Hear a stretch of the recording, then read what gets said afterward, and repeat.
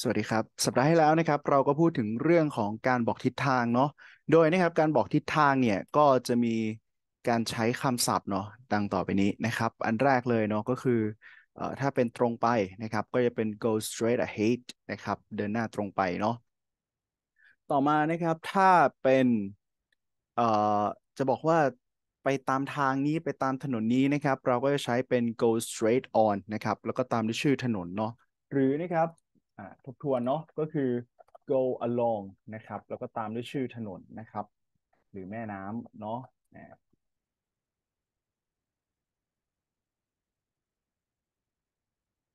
อันนี้ก็ใช้ได้นะครับเนาะเออสมมุติถ้าเกิดจะบอกว่าเออให้เรียบน้ำปิงไปก็ go along the Ping River นะครับ แบบนี้ ถัดมานะครับเอ่ออย่างที่ได้โชว์ไปแล้วนะครับว่าสำหรับต่างประเทศนั้นนะครับ ตัวของ บ้านเมืองเขาเนาะจะแบ่งเป็นบล็อกนะครับ เพราะฉะนั้นก็บางทีอาจจะใช้ go one block go two box blocks นะครับ ก็คือให้ตรงไปหนึ่งแยกตรงไปสองแยกเนาะถ้าเกิดจะเป็นการปรับใช้กับบ้านเรานะครับนะถัดมานะครับ ถ้าจะบอกว่าให้ไปยังถนนนั้นนะครับ ไปถึงถนนเส้นนั้นเนาะเออยังไม่ได้เลี้ยวยังไม่ได้ข้ามนะครับ ก็จะใช้คำว่า go to นะครับ keyword คือคำว่า to นะครับ keyword คือคำว่า to เนาะที่ เราจะใช้นะครับ go to นะครับ go to main street นะครับถัดมาถ้าเกิดจะบอกให้ข้ามหรือให้เลยไปนะครับ ก็จะใช้คำว่า cross นะครับ cross the street เนาะ cross แล้วก็ตามด้วยชื่อของเอ่อชื่อของถนนเส้นนั้นนะครับ ก็จะเป็นการข้ามไปเนาะเหมือนในรูปตัวนี้นะครับเออเหมือนในรูปตรงนี้เลยนี่ในรูปนะครับ ทีนี้นะครับถ้าเกิดเป็นเรื่องของการเลี้ยวซ้ายเลี้ยวขวานะครับถ้าเป็นเรื่องของการเลี้ยวซ้ายเลี้ยวขวาเนาะก็จะใช้นะครับ turn left turn right นะครับนะซึ่งจริงแล้วเนี่ยอย่างที่ครูเคยพูดไปเนาะว่า turn มันแปลว่าหมุนได้ด้วยนะครับ หลักๆมันคือแปลว่าหมุนแหละ แต่เพียงแต่ว่าพอเราพูดถึงการบอกทิศทางเนี่ยมันก็จะมี movement ที่ไปข้างหน้าเนาะเพราะฉะนั้นถ้าเกิดเราหันซ้ายแล้วเราตรงไปด้วย มันก็คือการเลี้ยวไปเลยถูกไหมเออเพราะฉะนั้นก็เลย ถ้าแปลในการบอกทิศทางแล้ว turn left turn right ก็จะแปลว่าการเลี้ยวนะครับ แต่ถ้าเกิดใช้ในชีวิตประจำวันคำว่า turn เนี่ยอาจจะแปลว่าหมุนนะครับ เปลี่ยนเนาะ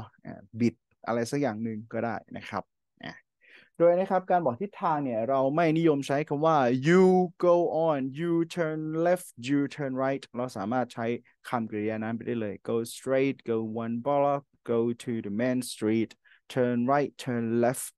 อันนี้ก็จะเป็นการทบทวนเนาะสำหรับคำศัพท์นะครับ เกี่ยวกับการบอกทิศทางเนาะ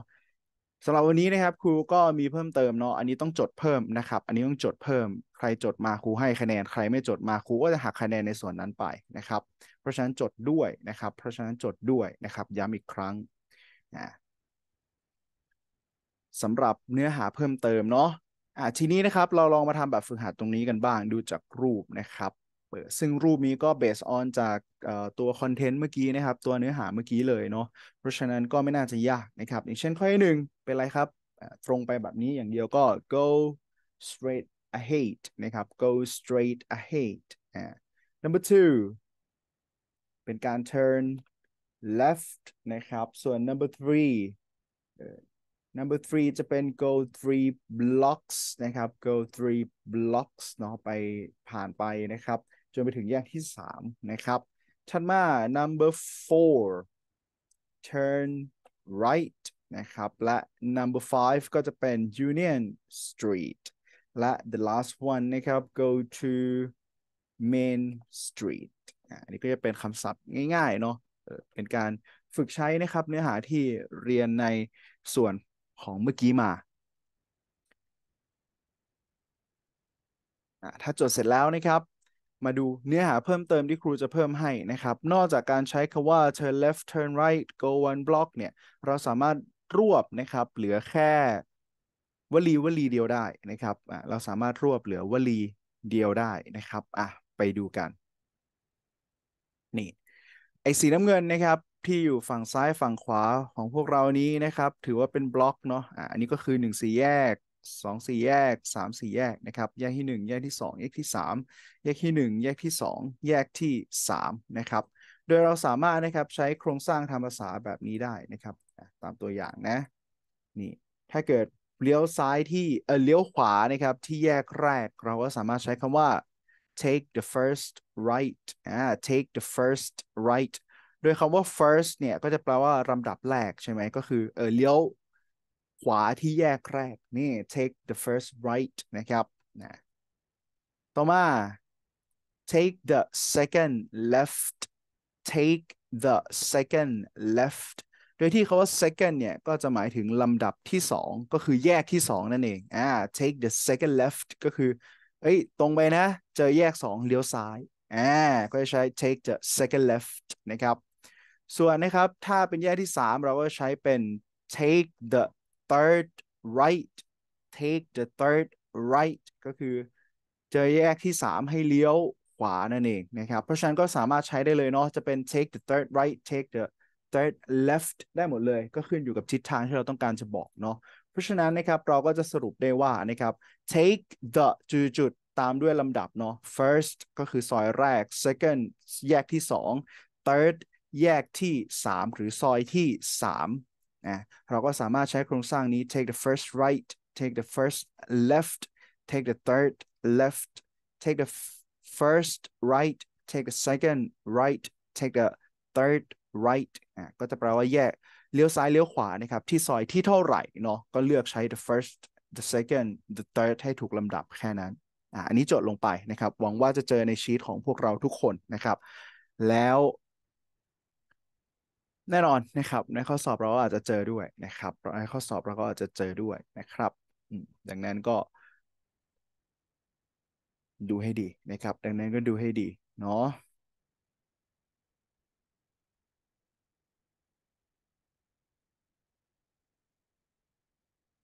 อันนี้ก็ถือว่าเป็นโครงสร้างที่ใช้ในชีวิตประจำวันได้เลยนะครับอ่าแล้วก็ดูเป็น natural กว่านะครับ ดูเป็น natural แบบ go to blocks and turn left อะไรเงี้ยมันดูแบบ ถ้าเกิดใช้ในชีวิตประจำวันอะคือ เราจะพูดยาวหรือเราควรจะพูดสั้นถูกไหมโดยปกติแล้วภาษาพูดอะมันก็ควรจะเป็นอะไรที่กระชับไว้ก่อนถูกไหมครับ ไม่ต้องพูดเยอะไม่ต้องมากคำยิ่งมากคำความเข้าใจยิ่งน้อยดังนั้นอะไรที่มันสั้นได้ใจความก็ควรก็จะเป็นสิ่งที่ถูกใช้มากที่สุดนะครับ เช่นเดียวกับโครงสร้างนี้นั่นเอง อันนี้ก็ครูว่ามองว่ามันเป็นประโยชน์กับพวกเรามากๆเนาะเป็นประโยชน์กับการใช้งานสุดๆเนาะก็เออนำอยากให้จดอยากให้ทราบแล้วก็นำไปใช้นะครับ โอเค ใครที่จดเสร็จแล้วก็ไปต่อใครที่ยังก็กด pause ก่อนนะครับ จดเสร็จค่อยกด resume อีกครั้งหนึ่ง alright next นะครับ เอ่อจะเป็นแบบฝึกหัดเนาะซึ่งแบบฝึกหัดนี้นะครับ ในชีตของพวกเราเนี่ยจะมีแค่ส่วนด้านล่างเนาะในใบความรู้ของพวกเราเนี่ยจะมีแค่ส่วนด้านล่างเนาะก็คือส่วนของแบบฝึกหัดนะครับ ซึ่งเอ่อสิ่งที่เราต้องทำก็คือนะครับ look at the map เนาะก็คือให้เราเนี่ยนะครับทำการดูดูแมปนะครับ จากนั้น uh, complete the direction นะครับ from the train station to the school ให้เรานะครับ บอกทางนะครับจาก train station นะครับเอ๊ะแล้ว train station อยู่ตรงไหน เออ นักเรียนเห็นไอเขาเรียกว่าอะไรอะนักเรียนเห็นรางรถไฟไหมอยู่ตรงนี้ใช่ไหมครับอ่าเพราะฉะนั้น train station ก็คือตรงนี้นั่นเอง เราต้องเดินทางไปถึง school นะครับ ตรงนี้เออแต่ว่าไม่ใช่เป็นการบอกทิศทางของตัวนักเรียนนะครับเออมันจะต้องเอาตามของที่เขากำหนดไว้ให้แล้วนะครับ เราต้องเดาใจให้ได้ว่าเขาจะพาเราไปในเส้นทางใดอ่า โดยนะครับอันดับแรกคือ go straight on นะครับ Pine Street เนาะ go straight on Pine Street นะครับ go straight on ก็คือนี่ เห็นไหมเห็นเส้นของครูไหมเนี่ยนะครับนี่ go straight on นะครับ อันนี้คือสิ่งที่เรียกว่า go straight on Pine Street เนาะก็คือนี่ตรงนะครับไปตามทางของ Pine Street นะครับทีนี้ move ต่อไปคืออะไร move ต่อไปคือจุดจุด on Second Avenue เอ้ย ถ้าเกิดเราอยู่บน Pine Street แล้วแล้วเราจะไปถนนของ Second Avenue เนี่ย เราควรจะทำอย่างไรครับเออถนนของ Second Avenue Second Avenue อยู่ตรงนี้อยู่ทางขวามือตอนนี้อยู่ทางขวามือของเรา เราก็ต้องทำการ turn turn อะไรครับ turn right ใช่ไหมครับอ่าเราก็ต้องทำการ turn right เนาะอ่าเราก็เขียนลงไปเนาะเออ turn right นะครับ นี่เขียนลงไปเป็นการ turn right นะครับ นี่นี่ก็เลี้ยวขวาขึ้นมา อะทีนี้นะครับ ครูก็มีตัวช่วยพวกเราเนาะก็คือเออถ้าเกิดเราทำเองอะมันก็จะยากไปนะครับครูเชื่อว่ามันมันก็ตึงๆอยู่นะสำหรับพวกเรานะครับ เพราะฉะนั้นก็ เลยมีคำศัพท์มาให้นะครับเนาะเออเผื่อจะดูเป็นแนวทางนะครับ แล้วก็สามารถนำไปใช้นะเพื่อที่จะเติมลงไปในช่องว่างให้ครบถ้วนได้สมบูรณ์นะครับเอออันนี้ถือว่าเป็นตัวช่วยนะครับ ใครที่เจ๋งพอไม่ต้องดูก็ได้นะครับ ใครที่เจ๋งพอไม่ต้องดูก็ได้เนาะก็หวังว่ามันจะพอช่วยนักเรียนประติดประต่อแล้วก็ complete the exercise ได้นะครับ โอเค ก็ให้กด pause นะครับ แล้วลองทำด้วยตนเองดู ให้กด pause แล้วก็ลองทำด้วยตนเองดูนะครับ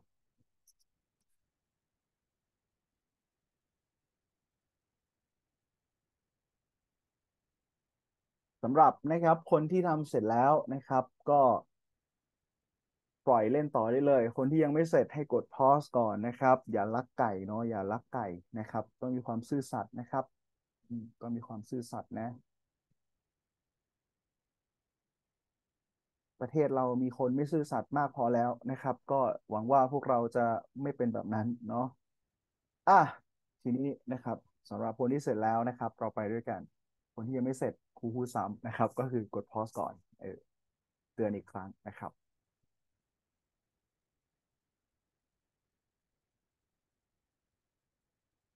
สำหรับคนที่เสร็จแล้วเราไปดู คำตอบด้วยกันเลยนะครับอ่า number four อ่าหลังจากที่เลี้ยวขวามาแล้วนะครับอยู่ที่ second avenue เราต้องทำอะไรเอ่ยแน่นอนนะครับก็ go straight ahead นะครับแล้วก็ตรงลงมา number five จุดจุด Maple Street then turn left on Maple Street อะก่อนที่เราจะเดินไปตามทางของ Maple Street ได้นะครับ เราต้องทำอะไรเอ่ย เราก็ต้อง cross ก่อนนะครับ cross แล้วตามด้วยชื่อถนนคือการอะไรครับ คือการข้ามนั่นเองนะครับ cross the Maple Street นะครับ and then turn left ใช่ไหมเอออันนี้คือสิ่งที่เขาบอก จากนั้นก็เลี้ยวซ้ายนะครับนะเลี้ยวซ้าย number six walk นะครับ หรือว่า go เนาะ one block to the corner ให้เราเดินไปนะครับ จนสุดหัวมุม จากนั้นก็จะเจอโรงเรียน อ่าถึงที่หมายแล้วนะครับ ทีนี้ก็จะบอกตำแหน่งเนาะ uh, the school is จุด Maple Street and Third Avenue นะครับ เป็นชื่อถนนแบบนี้ก็ต้องใช้โครงสร้าง on the corner of นั่นเองนะครับ on the corner of เนาะแล้วก็สุดท้ายนะครับ number eight ก็จะเป็น it's across from apartment building it's across from apartment building ก็ จะเห็นได้ชัดเจนนะครับว่านี่คือ apartment building อันนี้คือโรงเรียนนะครับตำแหน่งของมันเป็นอย่างไรนะ มันตรงกันข้ามกันถูกไหมครับเออมันอยู่ตรงกันข้ามกันเนาะเพราะฉะนั้นก็ต้องใช้เป็น across from นะครับอ่าอันนี้ก็จะเป็นแบบฝึกหัดสุดท้ายนะครับสำหรับในใบงานของเราเนาะแต่ทีนี้นะครับหลังจากจบคลิปวิดีโอนี้แล้วนะครับ ขอให้นักเรียนกด next นะครับ ไปอีกหนึ่งหน้านะครับ เราก็จะเจอแบบฝึกหัด เนาะที่จะเป็นการทบทวนเนาะเกี่ยวกับเรื่องของ around town นะครับทั้งการบอกตำแหน่งนะครับ การใช้ preposition เนาะ on ใช้กับถนนใช่ไหมบอกตำแหน่งว่าสถานที่นั้นอยู่บนถนนเส้นไหนนะครับ across from ตรงกันข้ามกับอะไร next to สถานที่นั้นติดกับอีกหนึ่งสถานที่อะไรนะครับ uh, between ใช่ไหมอยู่ระหว่างสถานที่อะไรกับอะไร หรือ on the corner of หรือ at the corner of นะครับ อยู่ตรงหัวมุมของถนนเส้นใดนะครับ และนะครับก็จะเป็นการบอกทิศทางเนาะอ่าก็หวังว่าเราจะ enjoy นะครับกับทั้งเนื้อหานะครับ แล้วก็แบบฝึกหัดที่ครูได้เตรียมไว้ให้เนาะสำหรับเนื้อหานะครับก็คงจะเสร็จสิ้นแค่นี้ เหลือแต่แบบฝึกหัดที่เราต้องทำต่อนะครับ alright I hope you enjoy the class and see you next time have a nice day bye